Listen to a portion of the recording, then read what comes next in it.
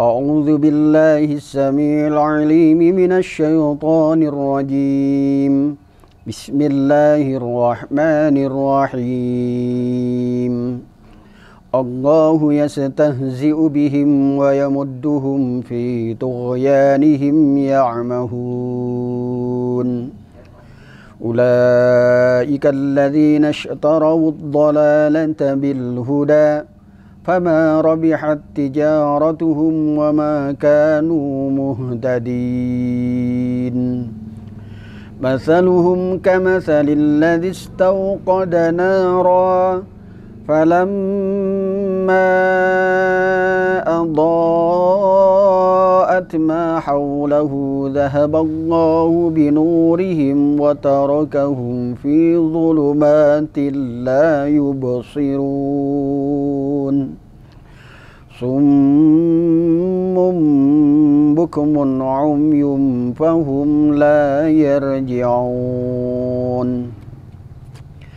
أو كصيب من السماء فيه ظلمات ورعد وبرق يجعلون أصابعهم في آذانهم من الصواعق حذر الموت والله محيط بالكافرين يكاد البرق يخطف أبصارهم كلما أضاء لهم مشوا فيه وإذا أظلم عليهم قاموا ولو شاء الله لذهب بسمعهم وأبصارهم إن الله على كل شيء قدير يا أيها الناس اعبدوا ربكم الذي خلقكم والذين من قبلكم لعلكم تتقون الذي جعل لكم الأرض فراشا والسماء بناءً وأنزل من السماء ماء فأخرج به من الثمرات رزقا لكم. فلا تجعلوا لله أندادا وأنتم تعلمون وإن كنتم في ريب مما نزلنا على عبدنا فأتوا بسورة من مثله وادعوا شهداءكم من دون الله إن كنتم صادقين. فإن لم تفعلوا ولن تفعلوا فاتقوا النار التي وقودها الناس والحجارة. أعدت للكافرين. وبشر الذين آمنوا وعملوا الصالحات أن لهم جنات تجري من تحتها الأنهار. كلما رزقوا منها من ثمرة رزقا قالوا هذا الذي رزقنا من قبل وأتوا به متشابها ولهم فيها أزواج مطهرة وهم فيها خالدون. صدق الله العلي العظيم. اللهم صل وسلم وزد وبارك على رسول الله وآله الأطهار. على رسول الله وآله الأخيار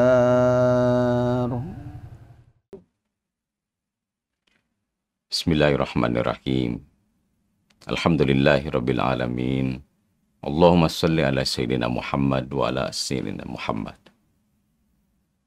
Ya Allah, segala puji bagi Allah yang membimbing kami untuk memujinya, menjadikan kami para pemujinya, supaya kami bersyukur akan kebaikannya, dan supaya dia membalas kami dengan balasan orang-orang yang berbuat baik. Segala puji bagi Allah yang menganugerahi kami dengan agamanya, mengistimewakan kami dengan milahnya, menunjuki kami kepada jalan-jalan kebaikannya, supaya dengan karunia-Nya kami berjalan menuju ridhonya dengan pujian kami yang dia terima dan dia ridhoi. Segala puji bagi Allah yang menjadikan di antara jalan-jalan itu bulannya, bulan Ramadan, bulan puasa, bulan Islam, bulan kesucian, bulan pembersihan, bulan menegakkan solat malam, bulan yang di dalamnya diturunkan Al-Quran sebagai petunjuk bagi manusia dan penjelasan petunjuk dan pembeda. Dia menjelaskan kemuliaannya di atas semua bulan menjadikan di dalamnya kesucian yang berlimpah dan keutamaan yang terkenal.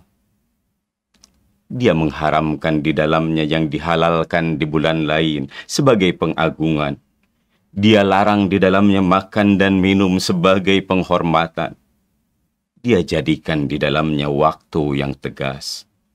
Tidak boleh didahulukan. Tidak boleh diakhirkan. Lalu, dia muliakan satu malam di antara malam-malamnya di atas malam-malam seribu bulan. Dia namakan Lailatul Qadar. Pada malam itu, turun malaikat dan malaikat Jibril dengan izin Tuhannya untuk mengatur segala urusan. Sejahteralah terus-menerus menaburkan berkat sampai terbit fajar kepada siapa yang dikehendakinya di antara hamba-hambanya sesuai dengan ketentuan yang ditetapkannya. Ya Allah, sampaikan salawat kepada Muhammad dan keluarganya.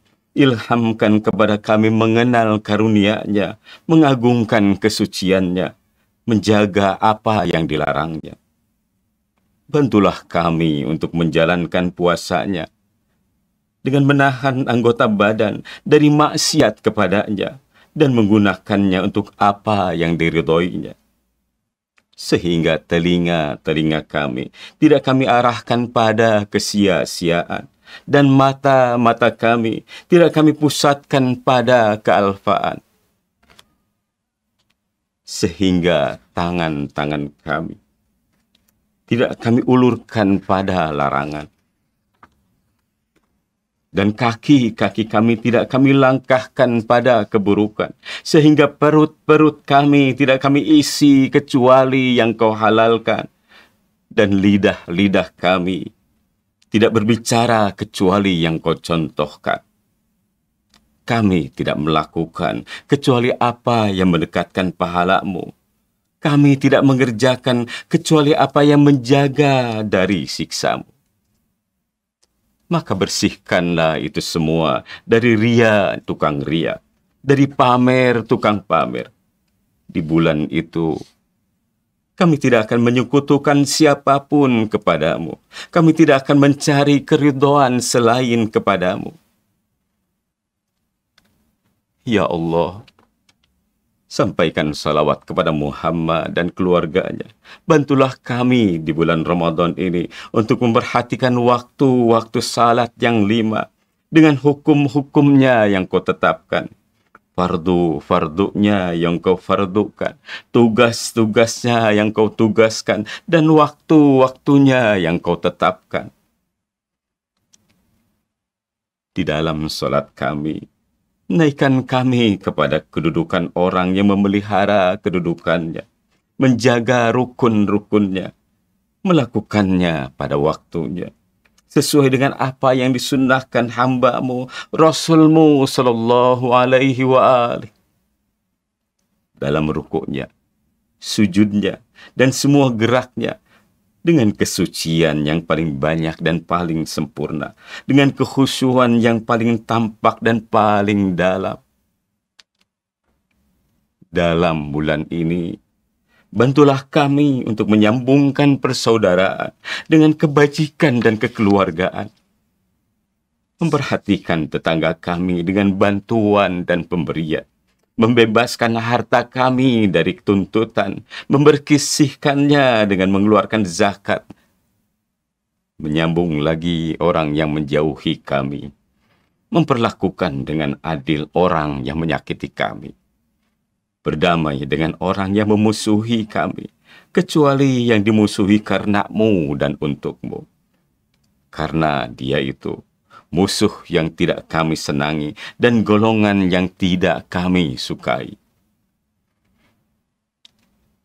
Dalam bulan ini, bantulah kami untuk mendekatimu dengan amal-amal yang suci yang membersihkan kami dari dosa menjaga kami dari mengulangi celah, sehingga amal yang dipersembahkan para malaikatmu kurang dari pintu-pintu ketaatan dan macam-macam peribadatan yang kami persembahkan.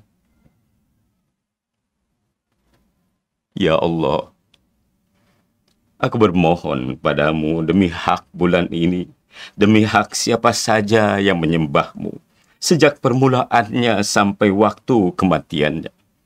Para malaikat yang kau dekatkan, para nabi yang kau kirimkan, para hamba saleh kau istimewakan, sampaikan solawat kepada Muhammad dan keluarganya.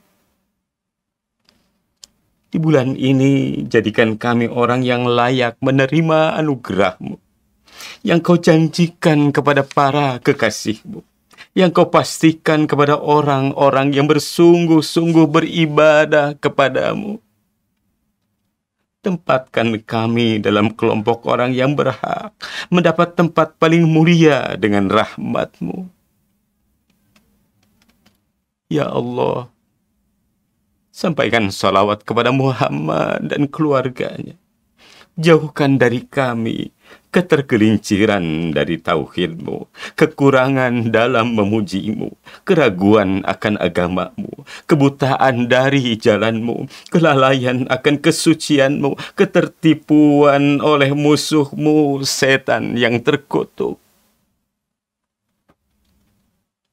Ya Allah, sampaikan salawat kepada Muhammad dan keluarganya jika pada malam-malam bulan ini ada hamba yang tengkuknya dibebaskan dengan ampunanmu, atau dianugerahi maafmu, masukkan tengkuk kami di dalamnya. Tempatkan kami pada kelompok dan orang yang paling baik di bulan kami ini.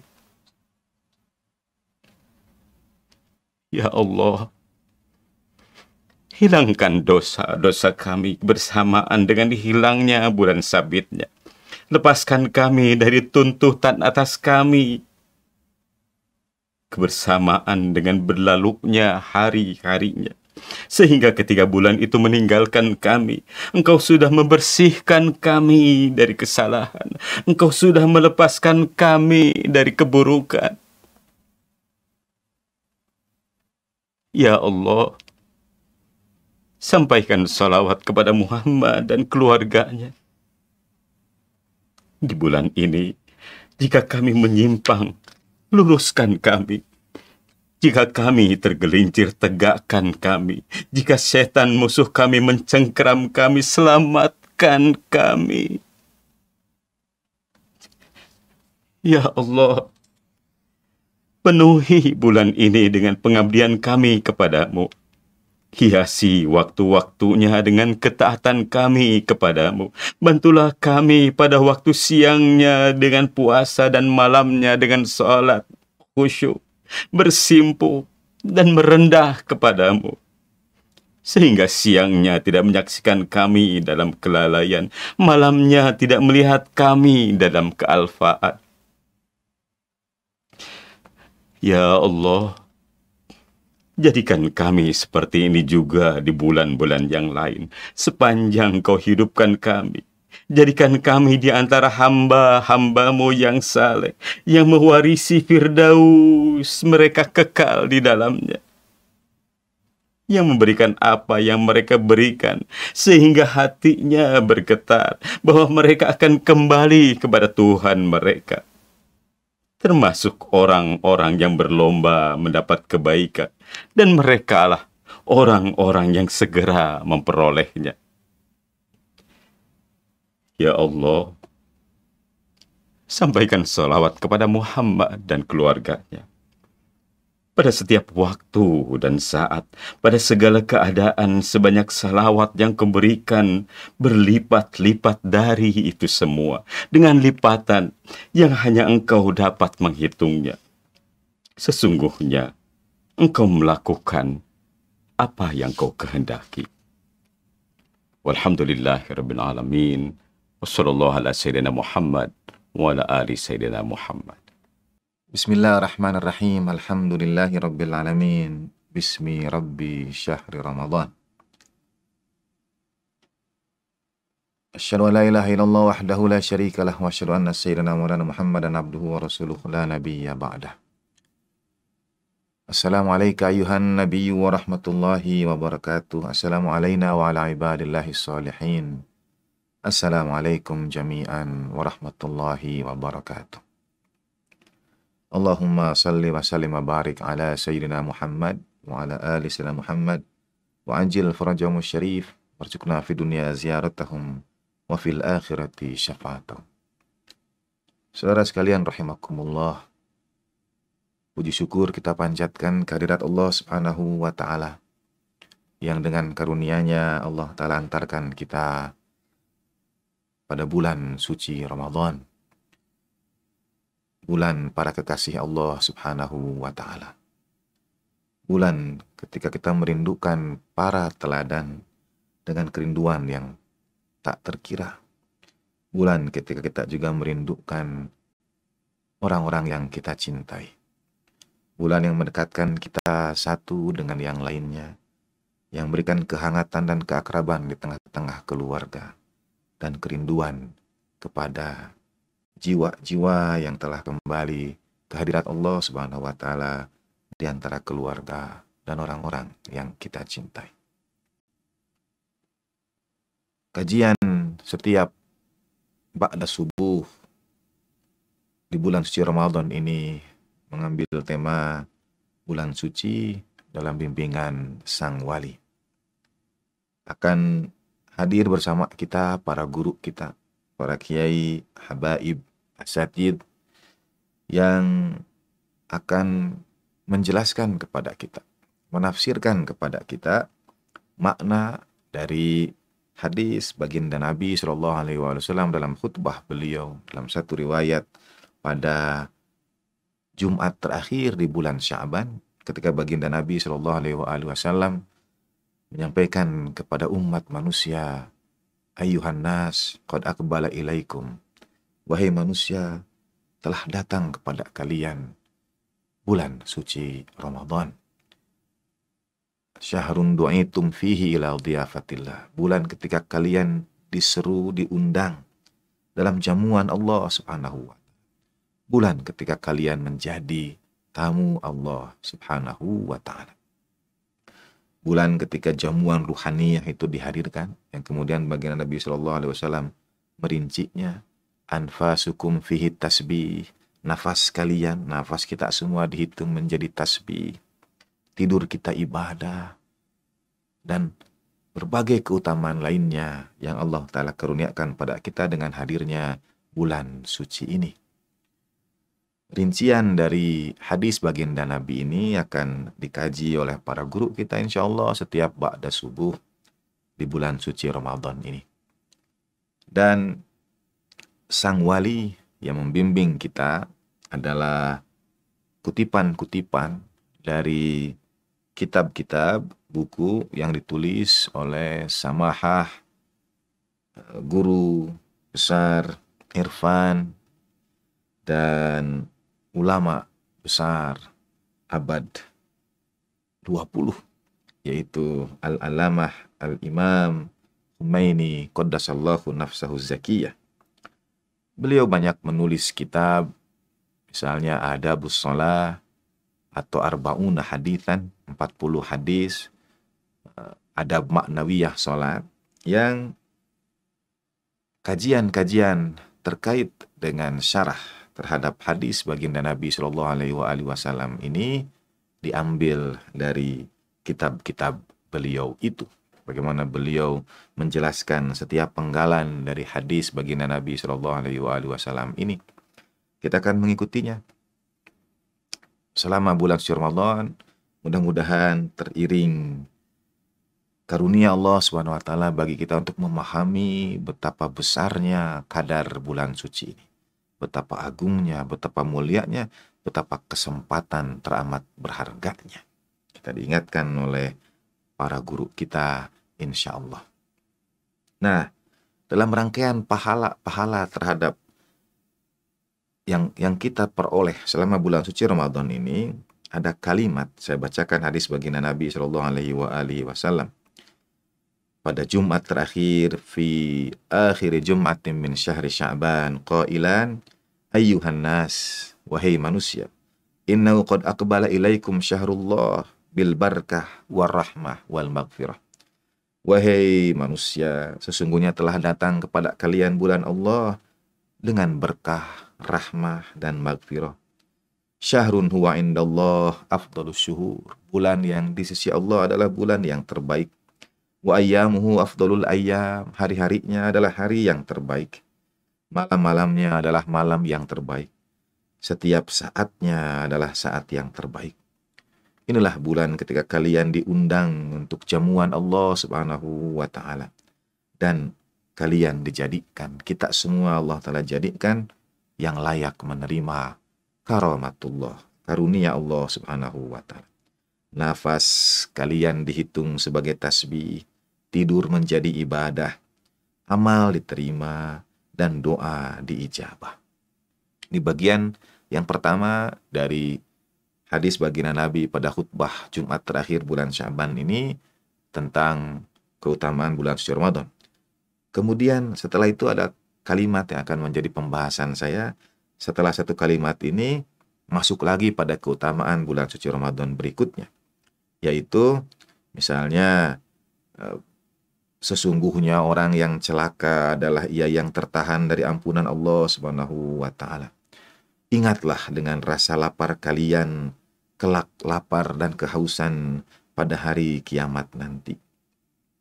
Bersedekahlah untuk fukoro dan masakin di antara kalian sayangi, hormati yang besar, sayangi yang kecil, sambungkan silaturahmi, jaga lisan, tutup mata dari yang tidak halal untuk memandangnya, dan seterusnya.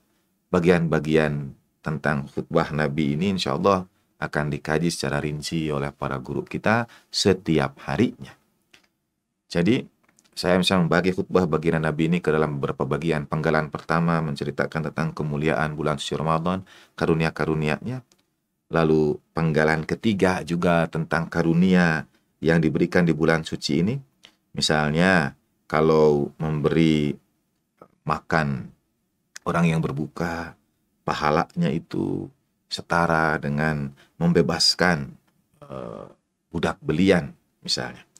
Itu pahala-pahala kemuliaan di bulan suci Ramadan ini. Barang siapa yang meringankan pekerjaan Orang yang berada di bawah tanggungannya Allah Ta'ala akan ringankan hisabnya di hari kiamat nanti.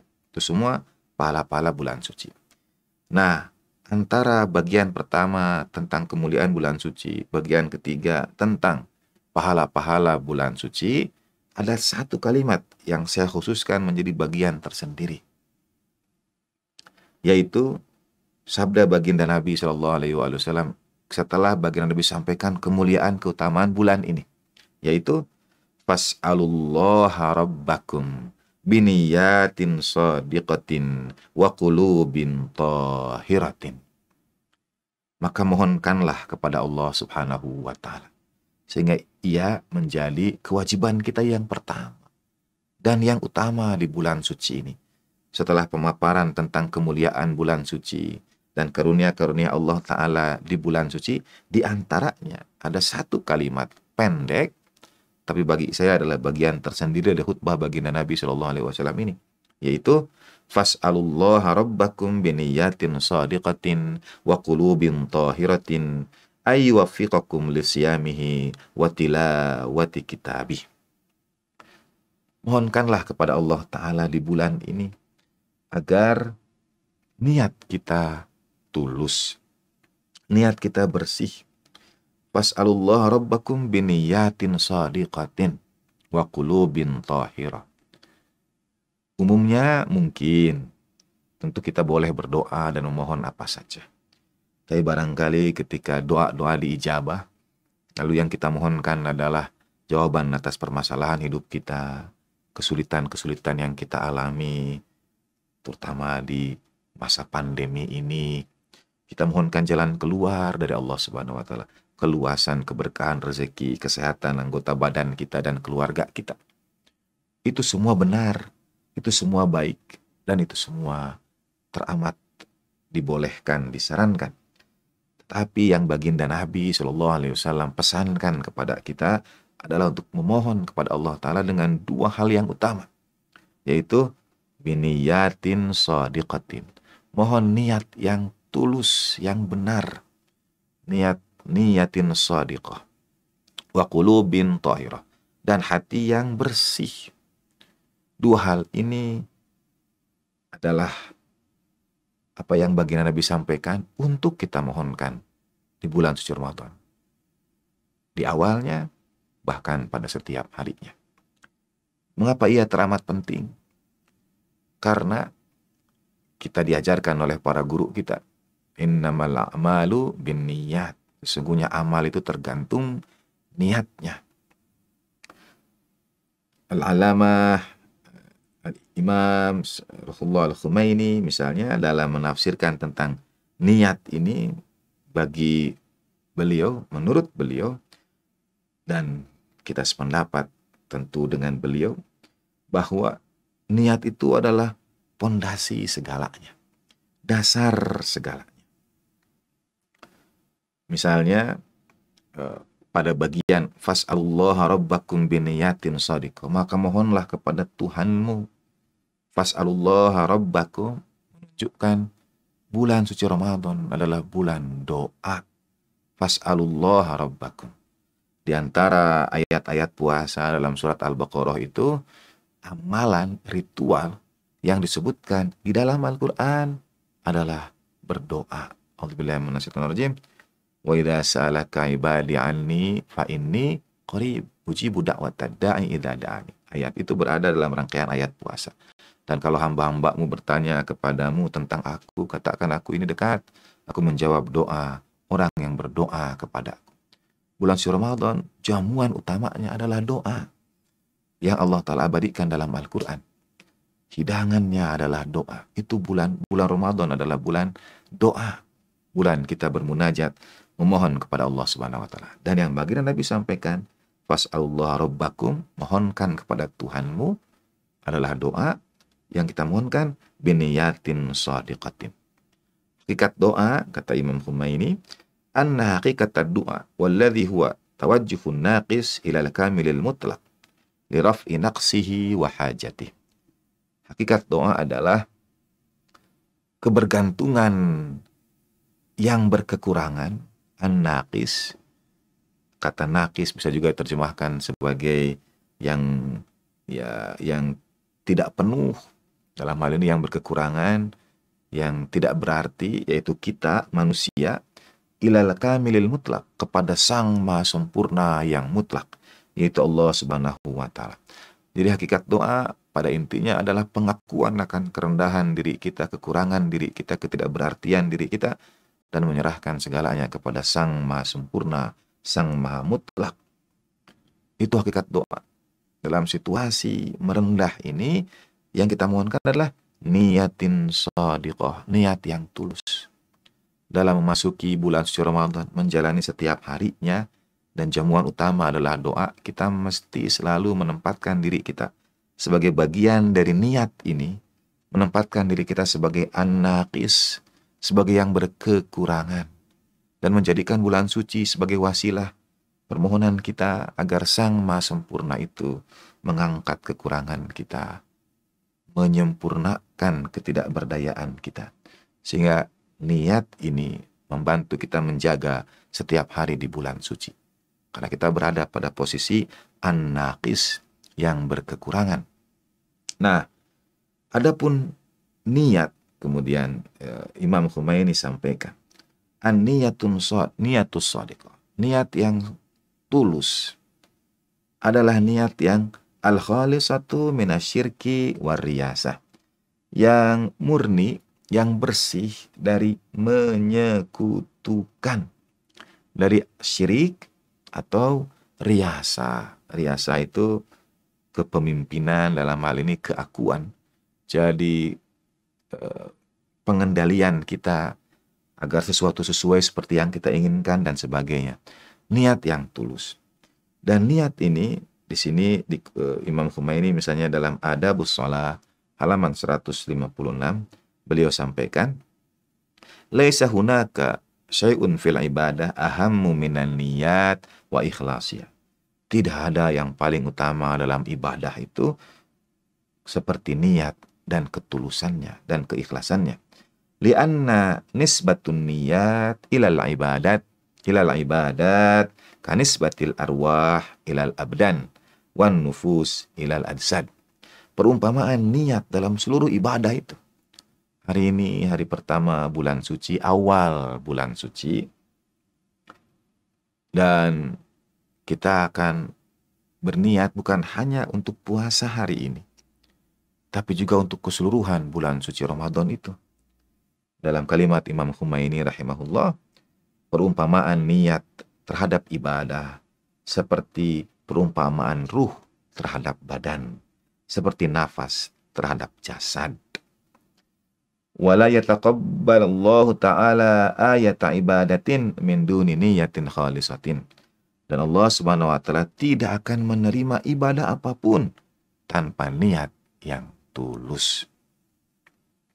Itu utamanya niat, pentingnya niat. Ibadah kita bukan hanya hari ini, selama bulan suci ini apakah diterima Allah Subhanahu wa taala atau tidak tergantung niatnya.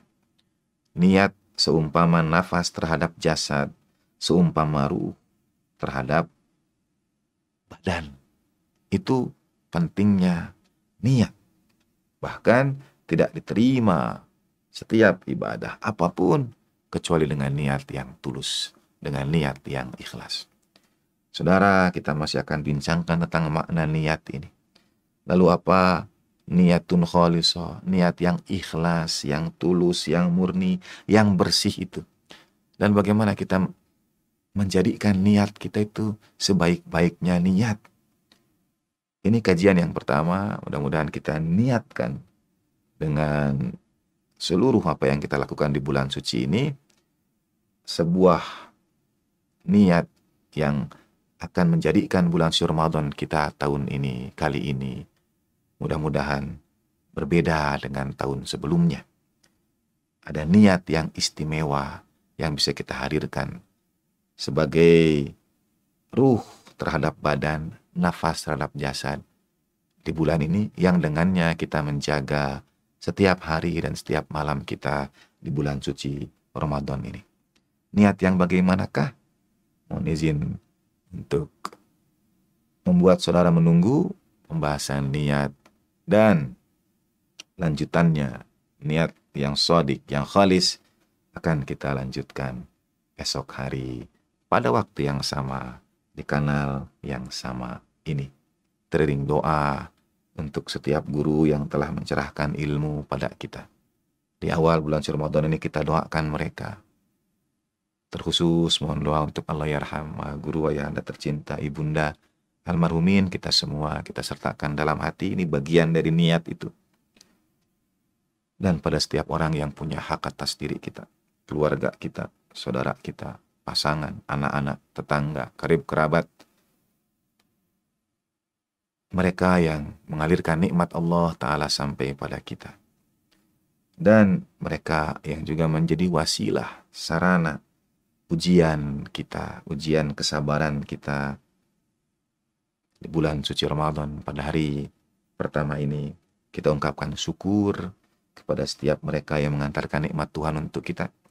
Dan kita bukakan seluas maaf kepada orang-orang yang mungkin kita rasa barangkali menyakiti perasaan kita. Kita maafkan, kita ikhlaskan. Bagian dari niat. Dan kepada orang-orang yang kita wajib meminta maaf kepada mereka, kita sertakan mereka juga dalam doa-doa kita. Al hadhi niyah wa kulli niyatin salihah ziyadatan fi surafin Nabi Mustafa Rasulullah sallallahu alaihi wasallam wa ahli baiti tayyibin at-tahirin. La siyama baqiyatillahi fil ardin. Arwahuna wa arwahul alamin li turabi maqdamil fida wa sayyidina Fatimah az-Zahra wa maulatina Khadijah al-Kubra wa jami'an bi'illahi wa rusulihi wa malaikati wa siddiqin wa syuhada wa salihin wa hasuna ulaika rafiqa. Sinal hadini hadiyatan lahum al-fatihatu ma'as salawat. Allahumma salli ala sayyidina Muhammad wa ali sayyidina Allahumma salli ala sayyidina Allahumma salli ala sayyidina Muhammad wa ali Bismillahirrahmanirrahim. Alhamdulillahirabbil. Malik yaumiddin iyyaka na'budu wa iyyaka nasta'in. Shiratal mustaqim. Shiratal ladzina. وصلى الله على سيدنا محمد وعلى الطاهرين والحمد لله رب العالمين. والعفو منكم وما توفيقي إلا بالله. عليه توكلت وإليه أنيب. السلام عليكم ورحمة الله وبركاته. بسم الله الرحمن الرحيم. اللهم صل على سيدنا محمد وآل سيدنا محمد. اللهم اجعل صيامي فيه صيام الصائمين وقيامي فيه قيام القائمين. ونبهني فيه عن نومة الغافلين. وهب لي جرمي فيه يا إله العالمين. واعف عني يا عافيا عن المجرمين يا الله Jadikan puasaku di bulan ini puasa mereka yang siam. Dan ibadah malamku termasuk ibadah mereka yang qiyam. Bangunkan aku dari tidurnya orang-orang yang lalai. Ampuni dosa-dosaku, wahai Tuhan semesta alam. Maafkan segala kesalahanku, wahai yang mengampuni setiap hambanya yang memohon ampunan.